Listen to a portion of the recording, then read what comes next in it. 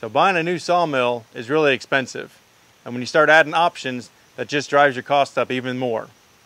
There's one option that most people will recommend, and you might want to think twice about it. It will probably take 50 to 70,000 board feet before it pays for itself.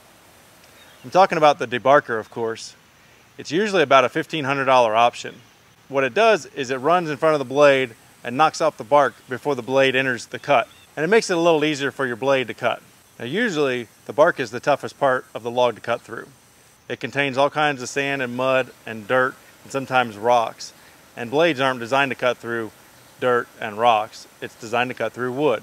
So anytime you cut through dirt, it's gonna dull your blade out faster. Now some people will tell you you'll double your blade life when you add a debarker. But my experience has shown it's not that simple. I've seen about a 15 to 20% increase in blade life on average. There's a lot of factors that affect this namely the size of your logs, the species, and how dirty they are. Now, regardless of what you're cutting, you're gonna have to cut through some bark. Usually it's about three cuts to get through bark before you start getting to wood. Now with a smaller log, you may have about 20 board feet or so, but you still have three cuts to get through the bark to get to that 20 board feet. But now if you increase your log a little bit, you may have 150 or 200 board feet of lumber but you still only have those three cuts to cut through the bark. So as you get to larger logs, you don't see as much of a return on that debarker. But even more important than that is what happened to your logs before they got to the mill.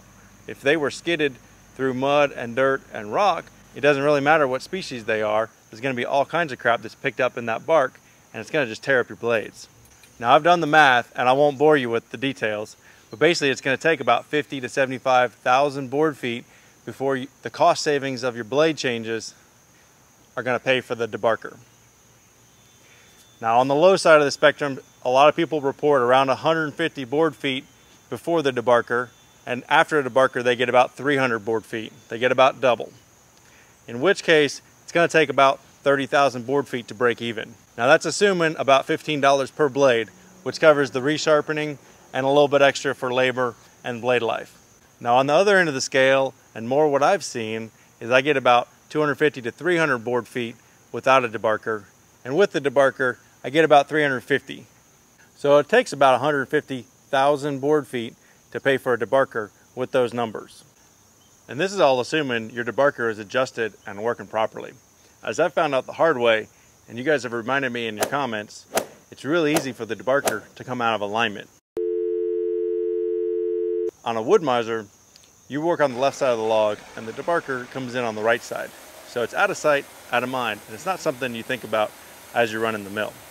It's also got about a 20 to 30 inch swing and it's just difficult to get into alignment because you've got about an eighth inch window that you've got to keep that blade in through that entire swing. And it swings on an arc. So you could be in alignment on the inside and outside and out of alignment in the middle or some flavor of that. But I don't want to be sitting here hating on debarkers all day. They are very effective at what they do. I just want to put things into perspective because it is a pretty significant investment up front. So whether you cut customer logs or you buy from a logger, there's a good chance those have been skidded around. And they can very easily pick up stone and rock in the bark and get embedded in it. And there's nothing that's going to kill your blade faster than a piece of rock. So it is a really good accessory, and I do highly recommend it if you can afford it. But if you're a little tight on funds, I recommend you looking at some sharpening equipment first. But you're going to want to check out this video to find out the one detail that most people overlook.